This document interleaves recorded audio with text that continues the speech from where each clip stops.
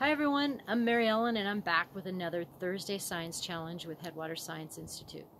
Today we're going to be working with transects. A transect is a tool that you use to study changes in a plant or animal community over a distance. It helps you visualize something that may otherwise not be obvious. Your challenge today is to make a transect and investigate something that might be changing near your house. Okay, making a transect is really easy. All you need is rope or string. I found this climbing rope in my garage, so I'm going to use that, but you can use something as skinny as a piece of string or a length of string, and that works fine. I also have a meter stick. You can use a meter tape if you have one.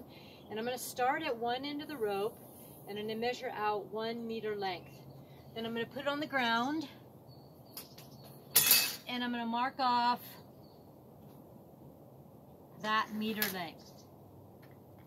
Then I'm going to pick it up and measure out two meter lengths and then mark it. And then I'm going to pick it up and measure out three meter lengths and then mark it. And I'm going to keep going all the way down the rope. This one is about 30 meters. That's a great length. Anything you can find close to that is great. So now I have a marked off rope in one meter segments. Now, let's go outside and do some science. I live on a dirt road, and I'm wondering if the water runoff or the dust from the road is affecting the plants alongside it. Are there more or less plants near the road? I can use my transect and my quadrat from last week to answer that question.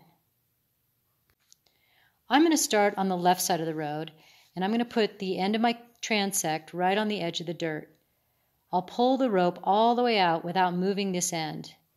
Starting at the dirt, I'm going to walk down to the one meter mark and put my quadrat right across the rope where the black mark is. I want to see what percent of plants are in my quadrat. If the whole quadrat is green, I would say that it's 100% plants. Looking at my first quadrat here, I'm going to estimate that I have 20% green plants in there. You'll have to adjust your percentage depending on what you see. At first, it will take some thinking, but it gets a lot easier the more you do it. On my next quadrat, the plants are a lot smaller, so I have to get real close to look at it. On this one, I'm going to give the percentage at 35%. Some quadrats won't have anything growing in it, and this one will be easy. This one will be 0% vegetation.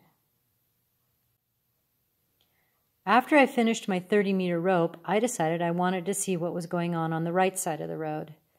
While you're working, make sure you write your data down on something like this.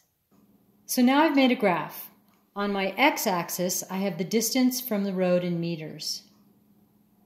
On my y-axis, I have the percent of vegetation that I measured in my quadrat.